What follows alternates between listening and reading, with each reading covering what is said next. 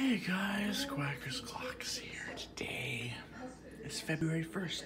And we're gonna do the 8.30.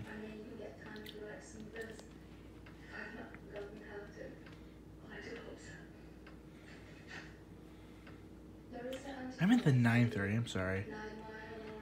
I'm just blanking out on a lot of things.